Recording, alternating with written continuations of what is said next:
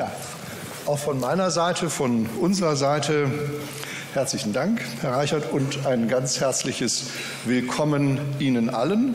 Frau Boetius zuallererst. Es ist hier in der Blendsituation ungefähr so dunkel wie da bei diesem flach gekloppten Teil. Ähm, also herzlich willkommen, Frau Boetius. Ähm, lieber Herr Hoch, herzlich willkommen. Die Deutsche Forschungsgemeinschaft ist ähm, dieses Jahr aus Anlass des 200. Geburtstags der Rheinischen Friedrich-Wilhelms-Universität, nämlich mit ihrer Jahresversammlung, zu Gast an der Universität. Herzlich willkommen, Frau Bürgermeisterin Klingmüller lieber Ottmar Wiesler, verehrte Magnifizenzen und Präsidentinnen, frühere Kommunikator, Preisträgerinnen und Preisträger, alle Mitglieder der Jury sind da, Julika Griem, die Vorsitzende der Jury, liebe Frau Barner, lieber Herr Barner, Ihnen allen ein herzliches Willkommen. Es freut mich sehr und ich darf sagen, es freut uns sehr, dass Sie uns die Ehre geben zu dieser Preisverleihung in, diesem, in dieser, sagen wir, bemerkenswerten Location, in der der Stifterverband mit Herrn Barner an seiner Spitze und die DFG gemeinsam den Kommunikatorpreis 2018 verleihen werden. Genießen Sie den Abend.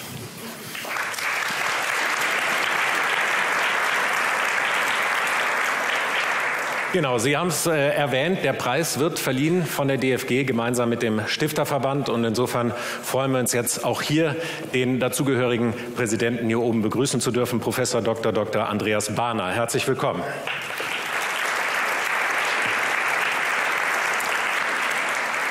Wir erweitern unsere Runde so Stück für Stück und ähm, fangen jetzt einmal im Dreiergespräch an. Ähm, Herr Warner, ich habe es eben gesagt, seit 2000 wird dieser Kommunikatorpreis vergeben. Jetzt ist das schon eine Zeit lang her.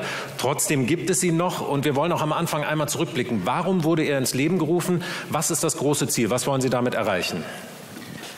Die Grundidee war klar. Wir wollten die Wissenschaftskommunikation. Wie kommt Wissenschaft zur Gesellschaft, wie kommen Erkenntnisse zu dem normalen Menschen, aber auch wie kommen Erkenntnisse von einer Wissenschaft zur anderen, wie kann man das in die Öffentlichkeit tragen. Das war uns ein Anliegen, das war wichtig. Und wenn Sie sich überlegen, dass der Stifterverband vor 100 Jahren knapp sich überlegt hat, nach dem Ersten Weltkrieg Geldnot, Forschung muss unterstützt werden, dann war das das Thema. Dann in den 80er Jahren, 90er Jahren war das Thema, wie organisieren sich Universitäten? Da hat der Stifterverband in dieser Richtung viel gemacht. Und ich glaube zurzeit, auch dank eines amerikanischen Präsidenten wird das immer klarer, ist Wissenschaftskommunikation wahrscheinlich wichtiger denn je. Das ist ähm, ein gutes Stichwort. Damit äh, reiche ich Ihnen direkt mal das zweite Mikrofon.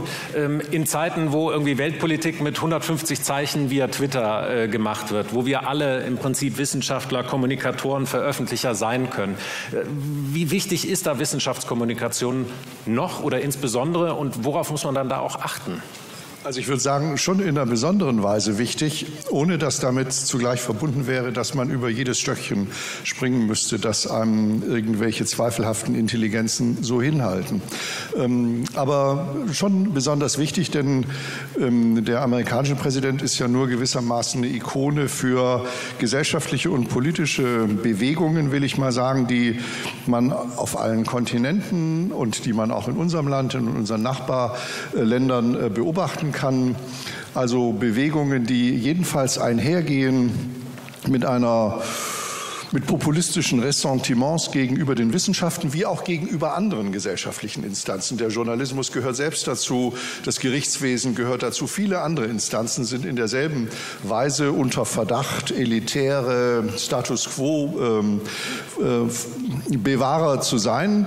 Ähm, und es gibt autokratische Wissenschaftsfeindschaft, die sich überall breit macht in der Europäischen Union, aber ähm, eben auch darüber hinaus. Denken Sie an Russland, an die Türkei. Wir haben heute lange über die chinesischen ähm, Verhältnisse gesprochen, die uns Sorgen machen müssen. Das ist eine Situation, in der Wissenschaftskommunikation ganz bestimmt nicht die Lösung ähm, aller Probleme ist, aber ein wichtiges ähm, Instrument. Der Tübinger Medienwissenschaftler Bernhard Pörksen hat von der Deregulierung der Wahrheitsmärkte äh, gesprochen in diesem Zusammenhang und er meint damit auch eine medientechnologisch erzeugte Deregulierung. Das sind die 150 Zeichen, ähm, die in solchen Social-Media-Kommunikationen drin sind. Damit kann die Wissenschaftskommunikation auf keinen Fall ähm, äh, konkurrieren ähm, oder jedenfalls nach meiner festen Überzeugung nur zu ihrem Nachteil. Es geht auch nicht darum, einfach more of the same zu machen. Ähm, ich glaube, wir sind in einer Situation, wo wir sehr viel deutlicher als über die Fragen der Quantität der Wissenschaftskommunikation über die Fragen ihrer Qualität nachdenken müssen. Und da würde ich sagen, dazu gehört nicht nur Ergebnisse zu kommunizieren, sondern auch die Grenzen des Wissens. Nicht nur Wissen, sondern auch Unwissen mitzukommunizieren, den vorbehaltlichen Status alles wissenschaftlichen Wissens mit, ähm, mit zu kommunizieren zu, mit zu kommunizieren, dass die Wissenschaft weiß, dass es andere nicht wissenschaftliche Wissensformen gibt, die für die Gesellschaft und für den Einzelnen nicht äh, weniger wichtig sind als die wissenschaftlichen Wissensformen. Und dann, und da würde ich sagen, das haben wir nicht abgesprochen, Herr Bahn, aber ich bin sicher, dass wir einer Meinung sind, in einer Welt, wo alle immer nur immer lauter reden, ist das noch lauter reden wollen vermutlich nicht die erfolgreichste Kommunikationsstrategie. Der Wissenschaft täte eine gewisse Art von Zurückhaltung, will ich das mal nennen, sozusagen Steigerung der Qualität der Wissenschaftskommunikation, aber nicht ihrer Lautstärke. Ähm, das ist schon ein wichtiger, das ist schon ein wichtiger Grundsatz, würde ich sagen, jedenfalls aus meiner Perspektive. Ich denke, die, in einer Zeit, in der jede Woche eine wissenschaftliche Organisation, eine Universität oder ein äh, biologisches Department sagt, sie hat gerade Krebs besiegt, und man dann ja, man sieht Fortschritt, aber wir sind natürlich noch lange nicht da. Da muss man sich nicht wundern, wenn dann genauso einem äh, 15-Zeiler geglaubt wird. Und ich glaube, da müssen wir, müssen wir sicherlich besser werden. In diesem Sinne, wir dürfen nicht in die gleiche äh, Richtung gehen, indem wir, sei es aus den Unternehmen, sei es aus der Forschung, dass wir Dinge versprechen, die wir einfach nicht halten können. Ich glaube, das ist ganz wichtig. Ein Versprechen, was Sie definitiv halten, ist natürlich die Auslobung dieses Preises. Wir haben es ja eben erwähnt, er hat jetzt 18 Jahre ähm, auf dem Buckel in Anführungszeichen, aber er ist trotzdem noch absolut zeitgemäß, weil Sie ja da auch regelmäßig überlegen, wie können wir das so gestalten, damit sich genau diese Entwicklung, die Sie gerade erwähnt haben, dort dann auch irgendwie wiederfinden oder denen zumindest Rechnung getragen wird. Gut, der Preis wird sich verändern. Was äh, unveränderlich ist, ist, glaube ich, dass es ganz wichtig ist, dass er unabhängig ausgewählt wird. Deswegen bin ich sehr froh, dass Frau Julika Kriem sich um die Jury kümmert, dass eine Jury alleine unabhängig von Stifterverband und jeglichen anderen Interessen den Preis, die Preisträger oder den Preisträger auswählt. Es bleibt auch gleich, dass er vernünftig dotiert ist und deswegen auch wirklich als wichtigster Wissenschaftspreis bleibt. Aber er wird sich ändern müssen. Er wird immer wieder schauen müssen, was sind dann die relevanten Themen.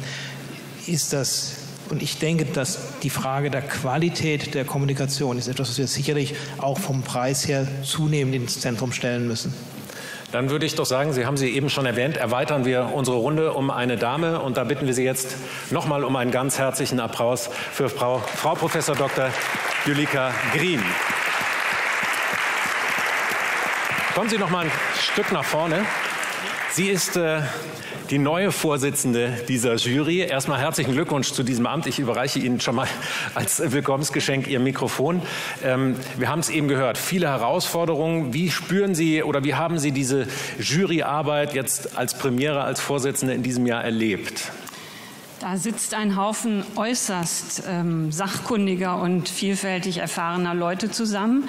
Unsere erste Sitzung war amüsant, nahezu freundschaftlich und von wirklich ganz unterschiedlichen Expertisen in ganz unterschiedlichen Medien und Orten des Mediensystems getragen. Und deswegen war es ein schieres Vergnügen, diese Diskussionen zu führen.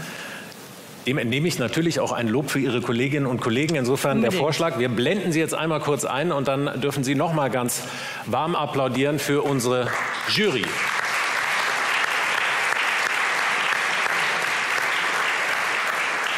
Aber Frau Griem, wir wissen, dass das, was dort passiert, auch Arbeit ist, harte Arbeit. Ähm, es sind unglaublich verschiedene, viele verschiedene Themen. Es geht sehr, sehr tief ins Detail natürlich. Ähm, dieses, was ich gerne so als derjenige, der oft auf der anderen Seite der Kamera steht, von Ihnen hätte, nämlich eine ganz kurze, knappe Antwort, wenn es geht, noch mit einem schönen Bild.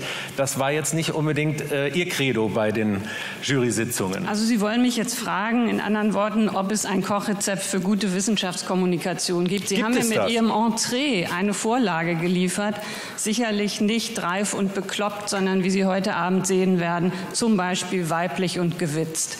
Das ist aber natürlich nicht der einzige Königsweg. Danke. Ähm, jenseits des, des Amüsements, ähm, mir ist es besonders wichtig hervorzuheben, dass diese Jury jedes Mal neu definieren muss, was denn die gelingenden Formen und Formate sind. Es geht ja hier nicht nur um Inhalte. Und persönlich glaube ich, dass der Weg auf keinen Fall immer nur zu mehr Vereinfachung, mehr Popularisierung, ich würde sogar sagen mehr Infantilisierung führt.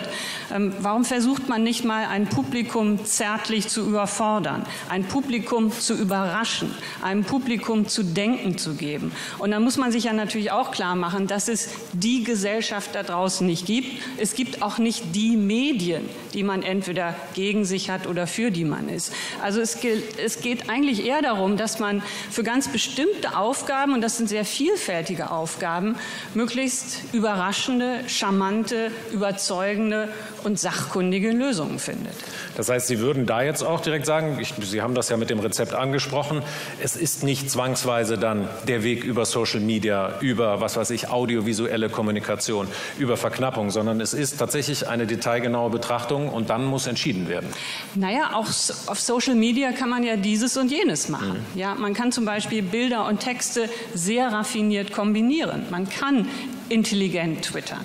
Ja, ähm, deswegen ist es wichtig, ähm, ja, dass man. die Zeit nehmen wir uns. Doch, das glaube ich. Deswegen ist es auch wichtig, dass diese Jury weiterhin gemischt ist. Ähm, auch 50 bis 70-jährige Leute können sich für Digitales interessieren. Aber es ist natürlich zunehmend wichtig, dass äh, wir hier Mitglieder haben, die ganz unterschiedliche Formen der Kommunikation kennen, beherrschen und beurteilen können. Vielleicht gehen wir noch mal gemeinsam ein Stück vor an den Tisch, dann stehen wir mehr in dem blendenden Licht, mhm. aber werden besser gesehen. Ähm, was glauben Sie, wie wird sich die Arbeit der Jury in den nächsten Jahren verändern, aufgrund genau der Punkte, die eben schon erwähnt wurden?